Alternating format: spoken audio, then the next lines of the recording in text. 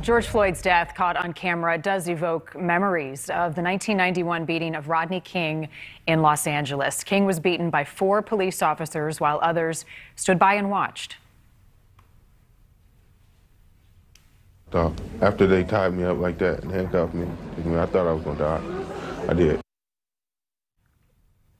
Four officers were tried but acquitted on assault charges. And following that verdict, as you may remember, riots exploding across Los Angeles. Buildings were burned, businesses were looted, and people were beaten in the street. King himself called for calm. I want to say, you know, can we can we all get along? Can we can we get along? A now infamous quote. Riots continued for several days after King's plea. There were 50 riot related deaths, 6,000 arrests, and more than 1,000 businesses were damaged. Joining us now is John Burris. He's a former attorney for Rodney King. Appreciate your time tonight. It is hard not to make parallels between uh, these two cases. There were many who felt as though history may, in fact, repeat itself as we awaited a verdict today. I think top of mind, uh, your reaction, having been part of Rodney King's case and uh, what followed in the city of LA, uh, your thoughts on the guilty verdict this afternoon. Well, frankly, I, I, was worried that we could have a Rodney King uh, uh, second uh, in the uh, in the works here, um, because you know I was really concerned about the demonization of George Floyd, Floyd by the defense counsel. Much of what happened in the Rodney King case, and I wasn't certain if many of the jurors would buy into that and then think of themselves as supporting the police because George Floyd was had all these negative warts, if you will. But I actually felt better about it once I realized that the verdict was coming in in a very short period of time. Then I understood that you, you could not get a verdict, uh, not guilty verdict, that quickly. So I felt really good about it. There were uh, issues that were very similar, and there were things that were dissimilar. The most significant dissimilar aspect of it, it was 30 year difference. And at the time Rodney King case took place, people had not seen that kind of level of brutality, and did not really expect police to engage in that conduct.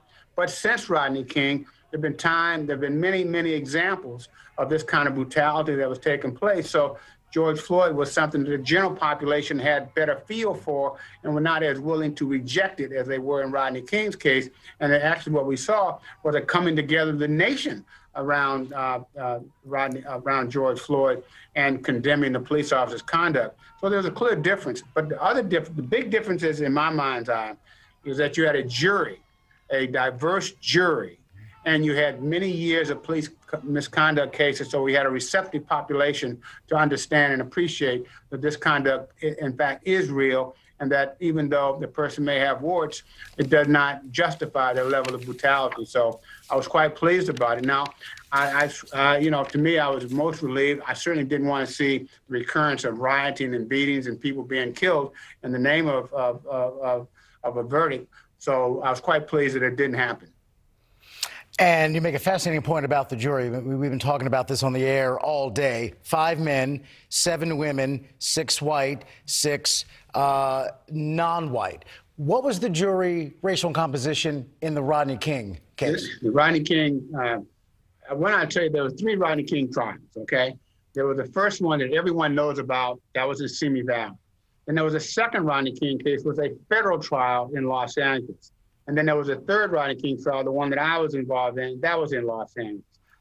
But the, the one that everyone knows about is the one in Simi Valley, which was outside of LA in a suburban community. That was really a, a place haven where police officers from LA and LA sheriff live. And so that that jury verdict, that that uh, jury composition was all white. Uh, there weren't any blacks uh, uh in that uh, uh, in that jury verdict. So the the racial composition was totally different. And on top of that, these were these were people who were police oriented. So they looked for excuses to justify police conduct. And and in, and in Rodney King case, he was demonized. He was a big brute. He kept he could take a lot of punches. He was uh, so strong, and the people felt that he would crush them. At the same time, they were beating him with batons, and every time he reacted to a baton, they acted as if that was an aggressive move. And so I had to fight through that myself in the civil cases. So this was different although I must admit the defense lawyer did a did a lot to demonize uh, George um, by his whole issues around uh, uh, around his drug use and his physical mental, uh, his blood pressure and his heart condition, uh, and and, um, and and things of that nature, to all to suggest that those were the reasons why he died. And I think the jurors got past that causation quickly, pretty quickly. And once they did that, then they were stuck with the nine minutes. Once they once they dealt with the nine minutes, then it was a question: How did the officer act in those nine minutes? And I think that's why he was convicted because he didn't act like a caring person. And John, like real- a person who didn't care. John, real quick before we go, I'm curious, as someone who dealt with the Rodney King case, on one hand, is it progress because there was a guilty verdict today, but not a guilty verdict 30 years ago, or is there a lack of progress, progress because three decades later, we're still watching an African American male facing violence from the police? How do you see Well, it? I, that's a very, very good question. And I will tell you that uh, George Floyd hasn't stopped anything in terms of police killings. Hell, I've had two in the last three weeks that are all very questionable. And I've had over seven since George Floyd. So George Floyd has not stopped uh, anything in terms of police shootings. Uh, but it has offered an opportunity for police reform in areas other than the shootings. But in terms of what happened here, I don't know that I would attribute a great deal to it, other than the fact that it was an it was a day in a case in time and a point in time when all the forces came together to say this was terrible, this is outrageous. I don't believe it will have an impact on cases that are currently being tried in Texas or in California and New Mexico or wherever. I don't see that kind of reach for the cases because each case is local to that particular community. What's going on there and those police officers. However, I do think since Rodney King, there's been a lot of reform efforts made, and I think George Floyd has helped that as well. But not, they have not stopped the police shootings. There have been, you know, there's over 1,200 police shootings last year, and there's been many, and, and more recently, including this young, the young boy that got shot in Chicago, and and the young uh, boy that was shot in, in Minneapolis, uh, Brooklyn Center. So I don't see George Floyd's verdict as having Im- any impact on those at all. It just means that this one case where everybody was focused around it saw a verdict they were pretty particularly happy with, including myself.